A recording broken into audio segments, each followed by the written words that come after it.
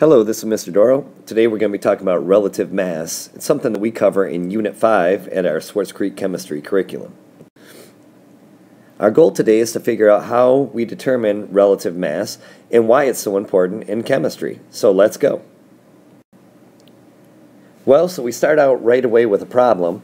These atoms that we want to we want to weigh are too small to weigh. So the solution is if we weigh a group of them, and they have the same number every time, then we can compare that same number. The problem is, how do we get that same number?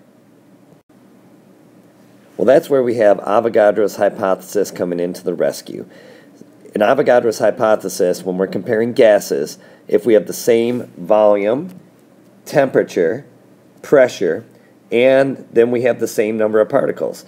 Because the song goes, equal volumes of gases at the same temp and pressure have the same number of molecules. Amedeo Avogadro, that's his hypothesis. Well, then what's different about these gases down here is the masses. And so we can compare the same number of particles, and each of these have seven in them, even though this is a diatomic gas, and this is a compound that we have. Just imagine that all these are touching with each other. They still are going to have the same number of particles, but they're going to have different masses that we can compare. So here's a little example of things that are a little bit bigger that we can see, but we can find the relative mass of these things also, how they're related to each other. That's what relative mass is. So I have an empty box, and the box mass is 19.61 grams, and then that same box with peanuts is 28.21, popcorn 22.94, and almonds is 31.87. So the first thing I want to do is find out what is just the mass of the peanuts. And by the way, we're assuming that they all have the same number of peanuts, popcorn, and almonds, just like we would with those gases in Avogadro's hypothesis. So we have to find the mass of the peanuts, the popcorn, and the almonds, and then compare those same numbers, the masses, with each other. So now I've subtracted the empty box mass from the box and peanuts. I got 8.60 grams. That's just of peanuts. 3.33 grams of popcorn and 12.26 grams of almonds. So when I'm comparing the equal numbers of peanuts, popcorn, and almond, these are the masses that I end up getting. One last thing here too is that we don't know how many peanuts, popcorns, or almonds we have. We just know they're the same number. And that's a lot of times the way it, go, it was going on with atoms also. They didn't know how many atoms or molecules, but they just knew that they had the same number that they can compare. So in order to find the relative mass, we want to divide each mass by the smallest mass to get a factor. We want to know how these are related to each other. The smallest mass that I have here is the popcorn, and so I'm going to divide each of these by 3.33 grams.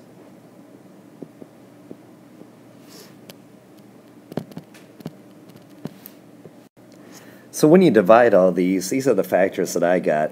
I got 2.58, and really that means 2.58 grams of peanuts, the PN, for every one gram of the popcorn. And this one right here, of course, it's a one. It's the popcorn that's on there. 3.68. Really, that means grams of almonds for every one gram of the popcorn. And that's why they're relative masses. They're related to one gram of the smallest one that you have.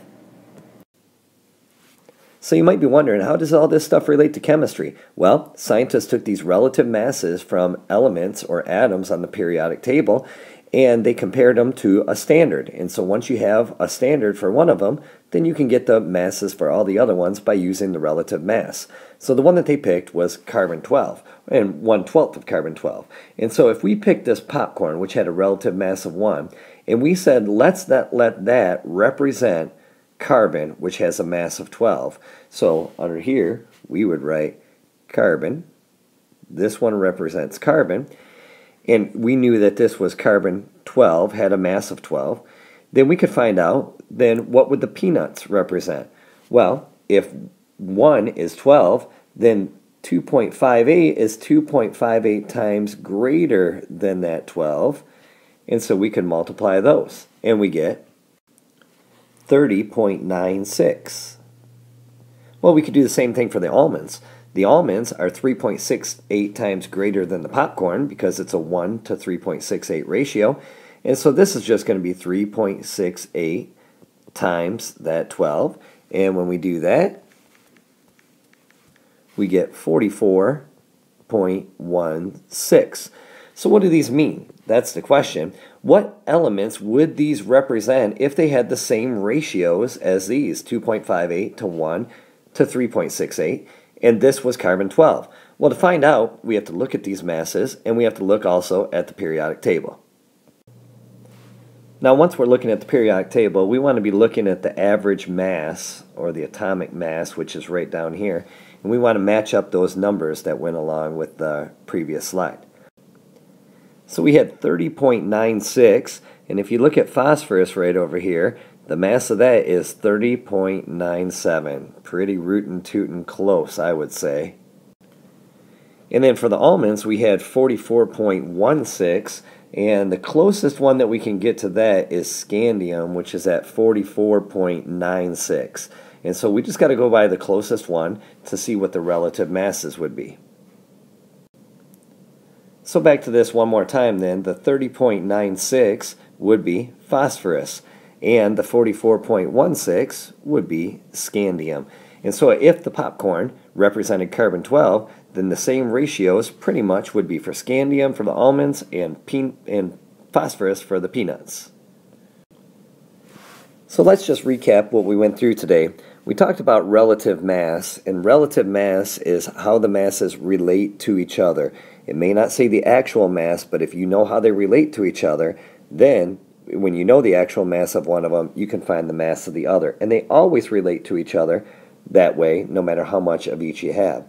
Then we talked about Avogadro's hypothesis. Avogadro's hypothesis makes, makes it possible for us to get relative mass because we can use equal volumes of gases at same temperature pressure. We know they have the same number of molecules. We compare those similar number of molecules and we determine the mass difference between them as long as they all have the same number of molecules. In those masses on the periodic table, once we pick one as a standard, which carbon 12 was picked as a standard, then when you have the relative masses, and you get those by finding out how they join up with other compounds, once you know the mass of one of them and you see how they join up, then you can get all those masses on the periodic table because you have the relative masses and you have a standard. So that's what we got today. Hope this helped out. Thanks.